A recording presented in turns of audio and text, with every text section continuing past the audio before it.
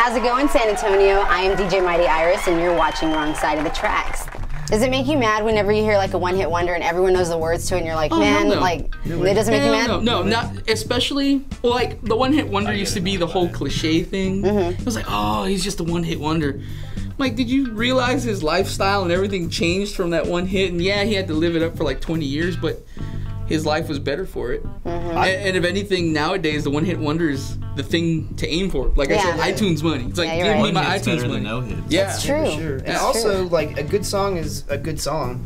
Mm-hmm. Yeah. Simple as that. I know people like to say, "Oh, I'm like, you know, Kanye West, he's a douchebag," and I like Justin Bieber. I'm like, hey, those songs kind of get No, they people are. tapping. They get your stuck in foot your to head. It, you know. Yeah. A song is something that walks by Well, the cool thing about being an artist is like any kind of publicity ends up being good publicity. Yeah. So like the people that hate him and the people that love him, they all contribute to the star power of the artist. If you have one hater, try to figure out how to get two more. Two more. That's right. That's right. Katt Williams. You're full of the one-liners today. I'm liking all the stuff lot, you're saying. A lot of quotes. yeah, a lot of quotes.